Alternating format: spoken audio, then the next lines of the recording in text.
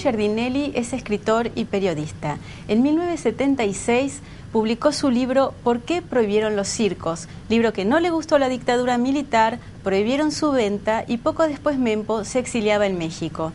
Es ahí donde publica en 1980 La Revolución en Bicicleta. A esta novela le siguen cerca de nueve novelas más, más de siete libros de ensayo, unos 12 libros de cuentos. Además, Mempo dirigió la revista Puro Cuento, tiene una fundación que lleva su nombre. En estos días presenta la primera película que lo tiene como director y vamos a tratar de hacer un recorrido por toda esta extensa obra, esta interesante vida. Gracias, Mempo, por estar acá. Gracias a vos, la verdad que uno escucha esta síntesis y es espantoso, la cantidad de cosas que uno ha hecho no debería haber sido tanto, pero bueno, ya está. Y que es más, el tema es que es más, porque traté de sintetizar, hacer una presentación más o menos corta. Eh, en tu página web, que además tenés una página web, está claro que recibiste el premio Rómulo Gallegos, que recibiste el premio Pregonero de Honor en el 2007 que recibiste el honoris causa en la Universidad de Poitiers, pero también hay cierta ironía porque dice que nunca recibiste distinciones en la Argentina y jamás, jamás decís eh, la beca Guggenheim. Yo eh, pensé en otro argentino que además fue tu amigo, Osvaldo Soriano, al que también eh, le costó ser reconocido por algunos sectores y te traigo acá esta foto con humor. foto, muy tierna esa. Si éramos tan, tan jovencitos con Osvaldo, sí. Esa foto debe ser del año 70, debe ser 70, 71, parece mentira. Y bueno, ¿a qué le atribuís este, esta falta de reconocimiento desde algunos No, yo no siento ninguna falta de reconocimiento, ¿entiendes? ¿Y ese jamás? No, eso es una ironía, porque yo creo que, el, lo voy a decir, creo que la beca Guggenheim eh, es importante, es muy codiciada, es muy esperada, yo me presenté varias veces como candidato, pero me doy cuenta de que ahí hay, este, hay cosas que no, en fin, que tienen criterios con los que yo no acordaría, para decirlo rápidamente, no tiene importancia. Eh, fue una, una, forma burlona de, de dejar pasar el tema.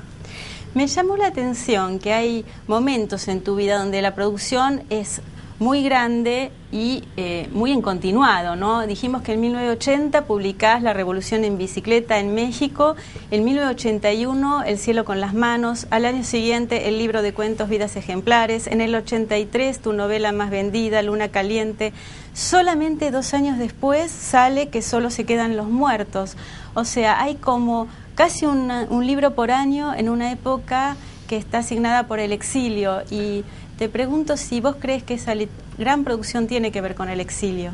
Sin duda, sin duda, sí, creo que está, eh, está bien la observación que haces.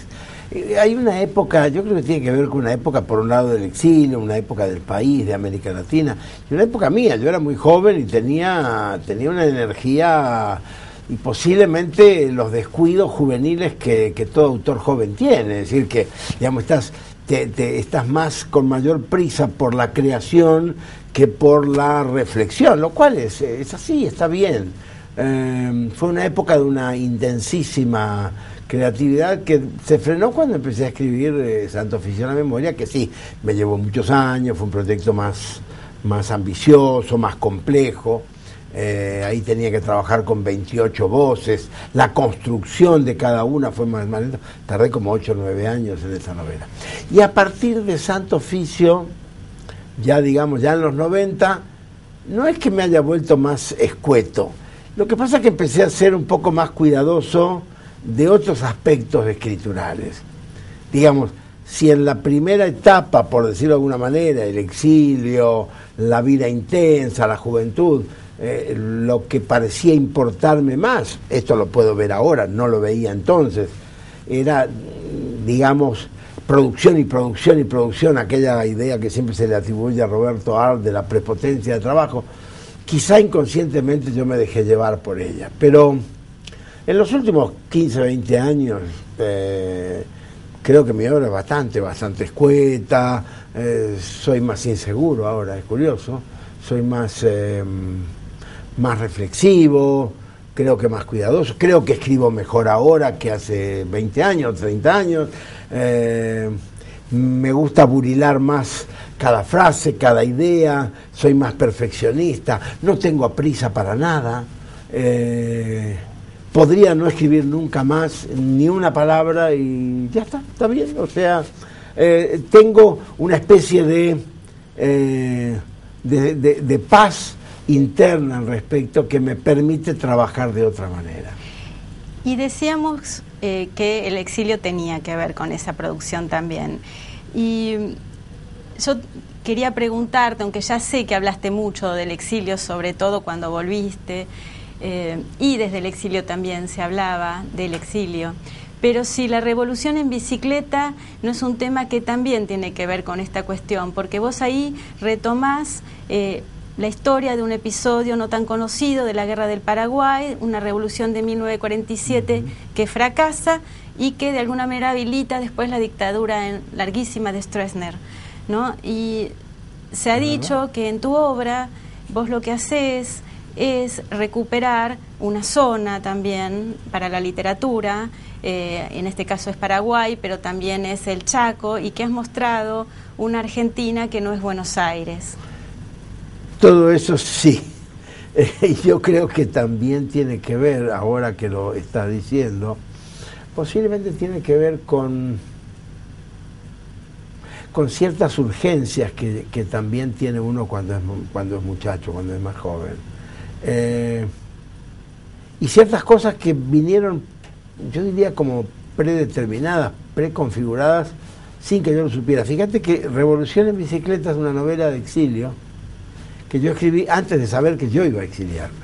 En realidad, para mí el exilio era, era una palabra y era un concepto que, bueno, que, que, que, que lo redondeé a partir de la experiencia de un personaje. En mi primera novela, la anterior a esta, que es ¿Por qué prohibieron el circo?, también es una novela de exilio. Esa está por salir el año que viene, la va a publicar Edasa en esta misma colección. La estoy retrabajando, la estoy eh, arreglando un poco, porque es un texto que tiene treinta y pico de años. Y bueno, por coquetería la quiero cuidar más y demás. Pero evidentemente todos mis primeros libros, por lo menos hasta que solo se quedan los muertos y hasta Santo Oficio de la Memoria, todos estuvieron atravesados por una línea, diría yo, transversal que, es el exilio. No sé, porque como te digo, eh, después me tocó vivirlo, eh, no solo el exilio, también el desexilio, pero evidentemente venía prefigurado, porque de hecho en mis dos primeras novelas ya, el tema ya era entonces el exilio, cuando yo ni, ni, pensaba tener que dejar el país, es curioso eso. Y del mismo modo podría decir que después del Santo Oficio y después del Rómulo Gallego, no escribí una sola línea más que tenga que ver con el exilio. Es un tema como que lo, lo cerré, y el lo resolví, diría mi analista. Y el Rómulo Gallegos es de 1993, o sea, ya se había acabado el exilio. Ahora, quisiera leerte una frase de la Revolución en Bicicleta, eh, más de 30 años después, a ver si Mempo de ahora eh, piensa lo mismo que lo que escribió acá. Y eh, lo digo además porque vos sos un escritor que se compromete con la realidad, que además tiene una gran actividad como periodista, que ha sacado hace poco un, libro, Cartas a Cristina, Cartas a la Presidenta de la Nación. Entonces, eh, mira la frase que elegí. La confianza histórica es un compromiso permanente es una obligación militante que se renueva todos los días, porque la revolución, adentro o afuera, en el triunfo o en la derrota, es un hecho dinámico que jamás se detiene. Se detienen los hombres, los que quiebran, pero no la revolución. Eso lo dice Bartolo, el personaje. y acá me gustaría decir, los personajes no siempre representan lo que pensamos los autores. Eh, yo puedo estar de acuerdo, seguramente cuando escribí eso estaba de acuerdo diría, ontológicamente con, lo que decía Bartolo. Eh, me, resulta muy, muy llamativo eh, este concepto. Posiblemente me acompañó durante una parte de mi vida. Eh, es una lucha interna que yo he tenido y que tengo en el sentido de que como ciudadano, como, como hombre político, político no, no, en el sentido militante o partidario, sino en el sentido, digamos, de hombre interesado en las cuestiones de la polis, siento a veces una determinada necesidad o responsabilidad de pronunciarme y como periodista lo hago.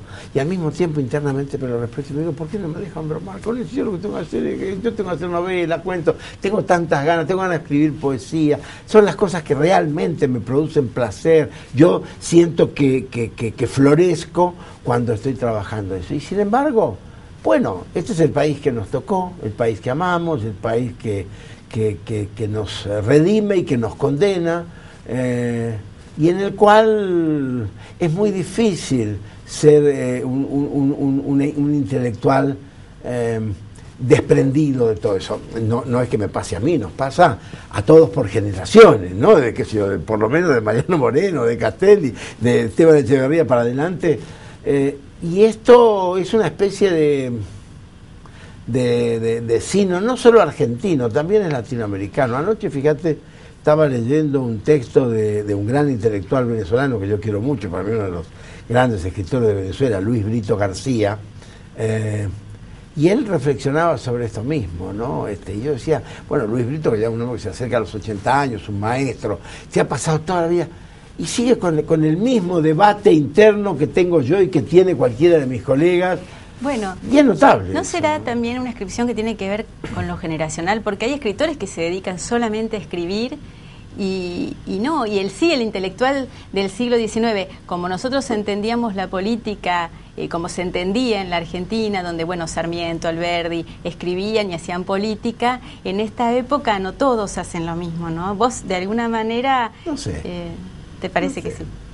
No sé, quizá no tiene mucho sentido dar nombres, pero yo pienso en muchos autores de, de, una generación más joven que yo, muchachos que tienen 35, 40 años, 30 años, chicas y muchachos que están escribiendo, y sus textos están llenos, llenos de pensamiento, de ideología, de política, de ideas, de actualidad. En realidad cada uno lo maneja como claro, quiere. Sí, en el texto sí, pero después ir y, dar la cara, ¿no? Y dar la opinión. Ah, bueno, eso ya es otra cosa. Este, eso poner la caripela es otra, es otra responsabilidad, cada uno puede ponerlo. Pero bueno, hablemos de los textos, y en los textos eso está. Digamos, la preocupación, como una vez me dijo a mí un maestro querido, que era el jefe de redacción de Puro Cuento y que fue mi, más que mi brazo derecho, era mi cabeza derecha, Ignacio Giorgio, que me acompañó en los años de Puro Cuento. Él siempre decía, el problema que tenemos es que tenemos demasiado país, decía el que era gallego además. Y me decía, es que hay demasiado país aquí. Y era verdad, en los cuentos que llegaban, en los materiales que íbamos, había demasiado país. Este es un país, y, y cuando pienso no solo en la Argentina, en América Latina, que de alguna manera tiene una presencia tan fuerte, tiene un peso específico tan, tan noble, tan duro, que se nos mete a todos. Se nos mete Mira, ayer o anteayer veía en televisión de casualidad una entrevista que le hacen a, un amigo mío que es un artista plástico chaqueño, Milo Loquet. Y Milo Loquet hablaba de la misma cosa que hablamos nosotros, que hablo yo. Este, y uno, uno no esperaría eso de, un, de un pintor de éxito. Uno elige a sus amigos bueno, y los amigos hablan también a veces las cosas que habla uno, ¿no? Pero entonces volvamos a los textos como vos me pediste, volvamos a otra novela que es Luna Caliente tu novela más vendida. ¿Y por qué crees justamente que tiene eh, en los lectores esta gran recepción? Yo siempre he preferido eximirme de, ser la clase de autor que teoriza sobre por qué es muy leído o poco leído. Algo le gustará, ahí va. Este, y se sigue vendiendo, se sigue leyendo. Una novelita que va a cumplir 30 años. Edasa la acaba de La acaba de sacar esta nueva edición, esta es la edición española de Alianza, y hay ediciones, te podría decir creo que tengo en mi casa no menos de 70, 80 ediciones de, Luna Caliente. Además de que tu obra eh, ha sido traducida a más de 20 idiomas, ¿no? Sí, y sobre todo Luna Caliente, la novela que más... Porque hay otras novelas que de repente que cuesta más, que es más difícil que lleguen a otra lengua. Bueno, los libros hacen su camino, su derrotero. Evidentemente Luna Caliente es el que ha tenido un camino más, más intenso, para decirlo de alguna manera. Y ahora sí llegamos al Santo Oficio de la Memoria.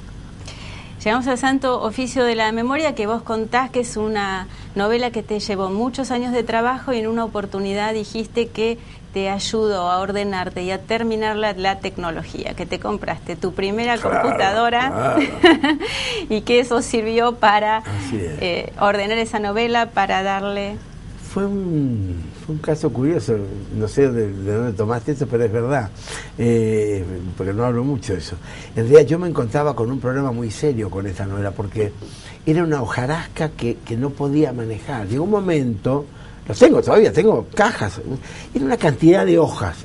se escribía en esa época en papel tamaño carta, carta, carta americano, no el A4 que usamos ahora.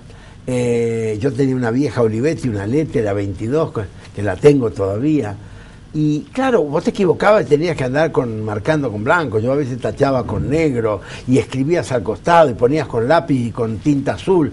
Y claro, cuando yo tenía más de 2.000 páginas de esto.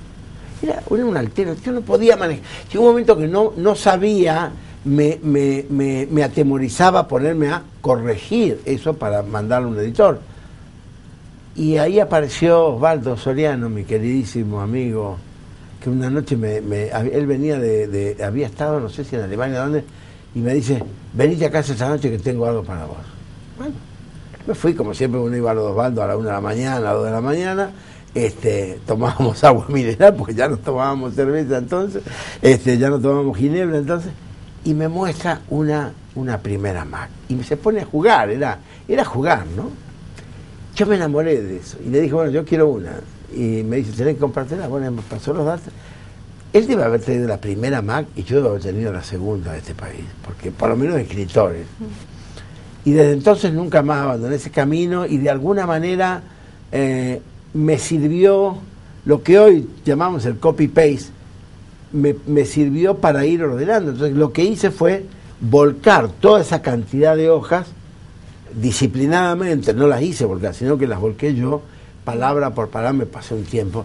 Y a medida que iba escribiendo, iba corrigiendo, y esta tecnología me permitió una maniobrabilidad este, maravillosa que me permitió terminar la novela fue importantísimo, porque además psicológicamente me permitió vencer una dificultad que yo no sabía cómo vencer. Una novela que es tu gran novela, tu, tu gran obra tal vez, al menos en, también yo te escuché decirlo alguna vez que vos eh, era la novela donde habías eh, donde sentías que había un gran trabajo, una novela que seguiste trabajando incluso en el 2007 con un recorte y relaboración donde hay 100 páginas que... No podía terminarla, fue, tremendo, fue tremendo. La primera edición de Santo Oficio es del año 91-92, que luego que la sacó Editorial Norma, con esa gané el, el, Rómulo Gallegos, después hubo varias ediciones, la sacó Planeta, la sacó Ediciones B, este, la sacó Monte Ávila,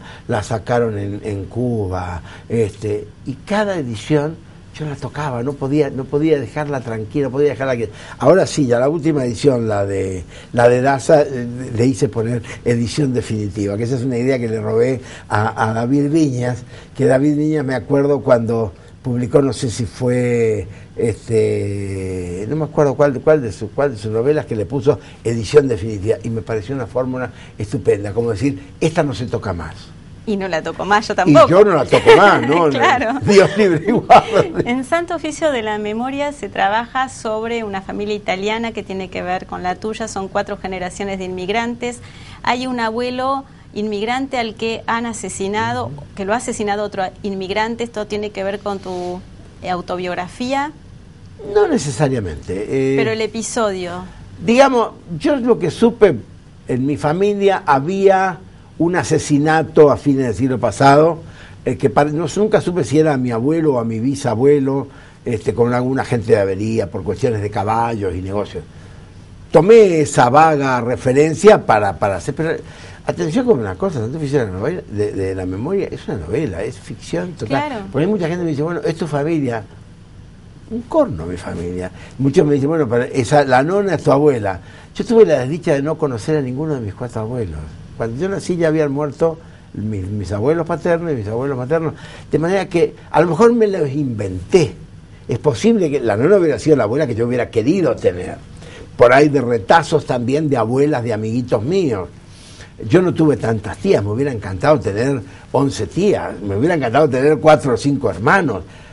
Yo tengo una familia muy chiquita, en realidad mis abuelos habían muerto, mi papá y mi mamá murieron cuando yo era chico, yo quedé prácticamente huérfano en la, en la adolescencia, eh, solo con mi hermana, que fue mi tutora, eh, y, claro, una familia tan escueta, supongo que he, querido literariamente inventar una enorme familia que me hubiera gustado tener. Y además que es muy italiano, muy judío, muy, muy de inmigración, digamos. Y tiene elementos que, claro, que tiene elementos autobiográficos como tantas novelas lo tienen. Sin duda, El personaje también de Pedro, que vuelve del exilio, vuelve al Chaco, vuelve con su familia. Sí, y además a mí me gusta la idea de que de, de, ciertos personajes que van trabajando en más de un texto. Yo, por ejemplo, los personajes de Luna Caliente vuelven a trabajar en Imposible Equilibrio, aparecen hacia el final y vuelven otra vez, están presentes en Final de Nueva Patagonia. Y y los, algunos personajes de acá están acá otra vez en, visita después de ahora. A mí me encanta este tipo de migraciones internas. ¿Por qué no? Claro. Si los personajes tienen vida propia, decimos eso, pues dejemos que la tengan realmente. Y los libros también, ¿no? Como decías, a dónde te lleva cada libro. Y este año, por ejemplo, Página 12 sacó una edición de varios libros tuyos a precios muy accesibles. Este año, eh, o el año pasado. Lo que sí está saliendo es eh, Daza con tus libros. Eso, eh, sí, con tus libros nuevamente. Yo soy un hombre afortunado a esta altura de mi vida en este sentido, porque durante muchos años me pasó lo que supongo le pasa a cualquier escritor, escritora. Uno siente que los libros, no todos los libros están en la librería. Sale un libro, se agota, se acaba, vuelve a la editorial, no sale una reedición y el libro como que se pierde. Yo tengo la fortuna en los últimos tres, años de que todos mis libros, todos los que hice están en librería. Todo, porque bueno, porque Edasa, cosa que yo agradezco mucho, Edasa viene publicando todos mis libros este, y, van a continuar, están, de hecho va a salir por, qué prohibir el circo, que es la primera vez que va, a ser editado desde que fue quemado en la dictadura. Mm. Eh, y de hecho, entre un poco de AS, otro poco ediciones este, B y algunos libros sueltos, como lo que está sacando eh, Capital Intelectual, por ejemplo, el Así se escribe un cuento, y ahora viene el género negro, yo puedo decir que tengo prácticamente todos mis libros, se pueden encontrar en, en, cualquier librería argentina, y eso es un tengo que ser agradecido en ese sentido, porque realmente es lo que uno quiere. que eras un hombre afortunado, yo pensé también en la amistad, y acá está esta foto que ah, inmediatamente puse con... contanos de esta amistad. Bueno, mis amigos, eh, yo, he sido, yo creo que, he sido muy afortunado con los amigos. Este fue uno, es uno de mis dos Juanes, ¿no? Don Juan Filloy. Esta foto del año 90 y... No, esta foto del año 86, 86, 87, tiene más de 25 años. Este, es en, en la plaza de Río Cuarto. Don Juan tenía entonces creo que 91, 92 años, estaba espléndido el viejo, este, y yo era ese muchacho, y, yo lo admiraba mucho a don Juan, eh, lo admiraba mucho y un día le mandé una carta de tanto que lo admiraba, porque yo lo había leído antes del exilio, yo me llevé La Potra, me llevé Staffel, me llevé Opolop, y claro, nunca pude tener un contacto con él. Cuando volví a Argentina, saqué puro cuento, una de las primeras revistas le hice una larga entrevista que está en, así se escribe un cuento, le hice una larga entrevista a don Juan. Y ahí lo fui a ver y, nos hicimos muy amigos, era un hombre muy generoso, muy, muy, era muy divertido, el viejo y, estuve prácticamente hasta, hasta su muerte. De hecho, tengo la honor de haber sido el único, el único escritor argentino que estuvo en su celebración de los 100 años. Me invitó a su casa con su familia, yo conozco a su familia, los quiero mucho. Y la verdad es que me, me, acerqué mucho a él. Y bueno, esta foto es, es, una de las primeras fotos de aquel tiempo, realmente eh, y otra foto que tengo acá, que la traje también en relación a la que mostramos primero con Osvaldo Soriano, con el tema del humor, con el tema de la amistad, con el tema del desacartonamiento, ¿no? Este es otro querido amigo, este es más, esta foto es más, esta es de 2007, 2008, ya estamos gorditos de ahí. Eh, ese es eh, Lucho Sepúlveda, esa foto es en Gijón, durante bastante tiempo nos encontrábamos todos los años con, con Lucho y con otros amigos. Lucho tenía, Lucho tiene una, una vocación de capo mafia y él siempre quiso hacer una especie de mafia literaria, cosa que por suerte nunca se lo permitimos sus amigos, nos resistíamos y demás. Pero nos sentábamos, nos juntábamos cada tanto este, en, en Gijón, que es donde él vive, este, y pasábamos cuatro o cinco días varios escritores que todavía algunos nos seguimos encontrando y a veces nos encontramos. Ya no tenemos tanto ritual, pero esta foto debe, ser de esa época. Esta foto la tomó Daniel Morsinski, que es un poco el fotógrafo oficial de, Lucho. Eh, y están, yo tengo otra foto de esta, donde está alrededor, hay toda una, una, una banza ahí, generalmente José Manuel Fajardo, Rosa Montero, está este Santiago Gamboa. Somos un, un grupete que él quería, Lucho quería ser el, capo mafia y bueno, lo dejamos que, se sienta el, jefe de Pero la se le revelan. En el Santo Oficio de la Memoria, el personaje, un personaje muy fuerte es la abuela, eh, la nona, que es una gran lectora y además es otras cosas, pero nos vamos a detener en que es una gran lectora y a mí eh, me hizo acordar a tu madre, que era una gran lectora, a tu hermana, que estudió bibliotecología y que cuando eran vos chicos, ella, tu mamá, eh, los libros en ese entonces se pedían, los pedía eh, y, y, vos Chaco a Buenos Aires, claro. Y vos recordás eh, yendo a la terminal eh, a recibir los libros que tu mamá pedía. Entonces yo pienso que con el tiempo, una vez que ya te convertiste en un escritor, un escritor que dio mucho con la escritura, eh, te has dedicado a maternar un poco a los lectores creando la fundación que lleva tu nombre. Sí, fue un, sí, fue una decisión como que se fue dando, en realidad no, no, yo no pensé que iba a llegar a esto, este fue una, una, decisión que tenía que ver con ciertos pensamientos negros que yo tuve en mi vida, eh, que tienen que ver con el hecho de que, bueno, mm, mis abuelos murieron muy jóvenes, mis papás murieron muy jóvenes, y claro, cuando yo me iba acercando a los 50 años, me venían todos los fantasmas, ¿no? Así que, y una de las preguntas que me hacía era, bueno, ¿qué va a pasar con mis libros, con mi biblioteca?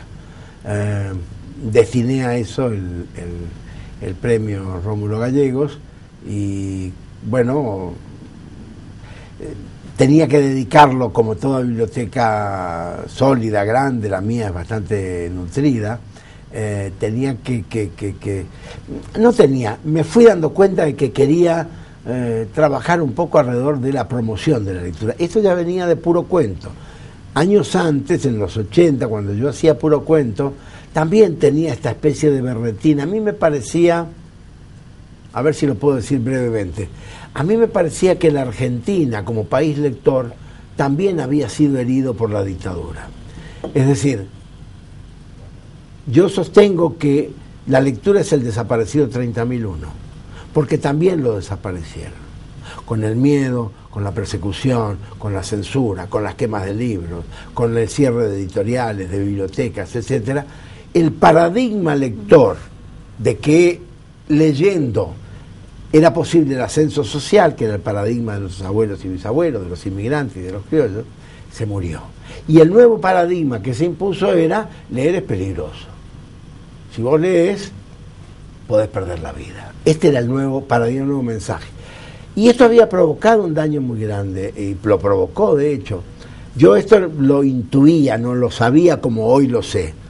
Y entonces la, la función de la fundación fue un poco eh, orientada hacia esto y desde entonces trabajamos en el fomento de la lectura eh, para tratar de recuperarnos como nación lectora, digamos. Una fundación en la que trabajás con Natalia Porta López, que es tu mujer, que tiene un rol muy activo ahí. Y que es la jefa, es la que realmente lleva adelante la tarea. Ella, a ella no le gusta que yo diga esto, pero lo voy a decir porque en realidad ella es la que tiene las grandes responsabilidades y es la que trabaja durísimamente, es un voluntariado, ella con un montón de, gente amiga, con, con, Adela Radner, que es otra de, nuestra Adelita, que, que está al lado, al lado mío de toda la vida prácticamente. Y organizan el foro de lectura, que es una experiencia impresionante.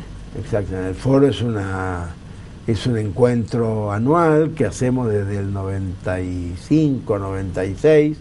Eh, constituimos a la ciudad, la ponemos a la ciudad de Resistencia en estado de lectura. se hacen talleres, mesas, debates, ponencias, conferencias. Eh, hay una gran participación popular. Tenés que venir a eso.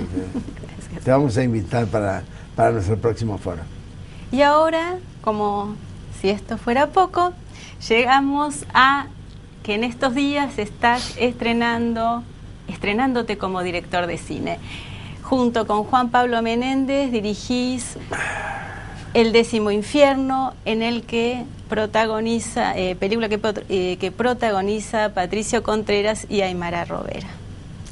Sí, voy a empezar por decir que son dos actorazos, la verdad que sostienen la película de una manera extraordinaria. Aymara y Patricio son fantásticos. El décimo infierno es una novela que yo escribí a finales de los 90 eh, se publicó primero en México, después creo que en España y después salió en Argentina. Eh, la publicó Planeta, creo, en el 99. Era una novela que de alguna manera, una novela negra, una novela de, mucha, una novela de género muy, de mucha tensión, una novela mala, de, digamos, de, maldad, de, perversa, una cosa tremenda, como era un poco el menemismo en esa época, ¿no? Y una novela que yo quiero mucho, la verdad es que me, una novela que me, me apasionó escribirla, eh, y que siempre pensé que tenía una, una, posibilidad este, cinematográfica. Yo no soy un hombre de cine, además llego tarde al cine, llego ya grande. Se supone que el, cine es un arte noble para jóvenes y gente que, tiene otra formación. Yo tengo la formación eh, eh, heterodoxa de un cinéfilo aficionado, nada más. Pero siempre quise hacerlo. Y Juan Pablo Méndez eh, que es un joven, podría ser mi hijo, es, un tipo fantástico, es un documentalista colombiano, muy reconocido en Colombia, en Venezuela, ha trabajado mucho para Telesur, ha trabajado en el Caribe, un tipo un documentalista excepcional, tipo tiene un ojo, este, y nos conocimos en un avión, en un vuelo de aquí, de Buenos Aires a Caracas, empezamos a charlar, él conocía todos mis libros, este, le interesaba, me empezó a entusiasmar, yo me empecé a entusiasmar por su trabajo, vino al Chaco un par de veces, después vino a hacer un programa de Telesur en el Chaco que tenía que ver conmigo, nos metimos en el impenetrable, es decir, fuimos empezando a hacer cosas juntos y nos dimos cuenta que trabajábamos eh, muy bien, digo, le llevo 30 años, pero era fantástico el encuentro que teníamos. Este, y, bueno, y un día empezamos a fantasear, bueno, hagamos una película juntos. El décimo infierno, me dijo. Bueno, perfecto, y empezamos. Y la hicimos a cuatro manos. Hicimos el guion, hicimos la producción, hicimos la dirección, hicimos prácticamente toda una película a cuatro manos, que era un gran aprendizaje para mí y para él también, en cierto modo, porque era su es su primer argumental. Este, conseguí, conseguimos que, que, nos acompañaran Patricia y Maná, que, que son, hoy son amigos, son gente excepcional realmente. Eh, el resto del, elenco, salvo Guillermo Somogui, que es otro profesional que hace un papel, el papel de Don Santos, estupendo. El resto, toda la, tripulación, diría, son todos actores y actrices chaqueños. Eh, gran parte del, equipo, eh, hay gente de Colombia, de Chile, de Ecuador, que, que, los, traje, los fuimos a encontrar. Un equipo profesional fantástico. Y bueno, y, se estrena. Se estrena y por lo que veo estás contento. Yo creo que sí, porque creo que es una película muy digna para hacer una película de género y para hacer una ópera prima de dos tipos como nosotros.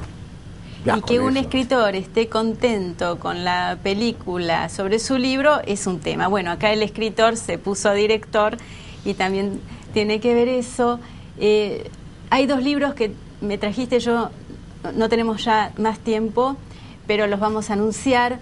Visitas después de hora, una novela que se publicó en España y acá no se había publicado y que sale pronto. Llegó de España algunos ejemplares, llegaron cuando se publicó allá, pero esta es la primera edición argentina acá que, que, la, acaba de sacar, esta Ediciones B.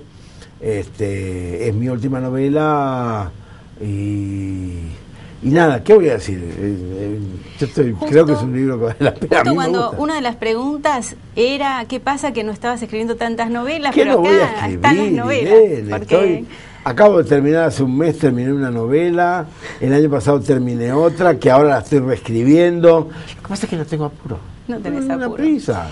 Y así se escribe un cuento, historia, preceptiva y las ideas de 20 grandes cuentistas. Sí, ese, es un libro que yo quiero mucho, que es un poco, son las, es un, una especie de highlight de las grandes entrevistas de puro cuento.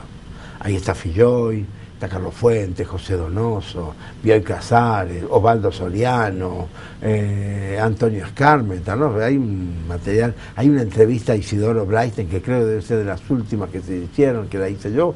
Todas son entrevistas que yo tuve en aquellos años de, la revista, este, que eran conversaciones alrededor del cuento. En realidad el tema central, como era la revista, puro cuento, tal como su nombre indicaba, el tema a, discutir con ellos era el cuento, ellos como cuentistas, fueran novelistas o no. Y, la verdad que me gusta mucho, el producto ahora ha quedado muy bien. Bueno, te agradezco mucho, Mempo, esta conversación. Yo sé, Y seguimos viendo la película. Cuando quieras. bueno, gracias.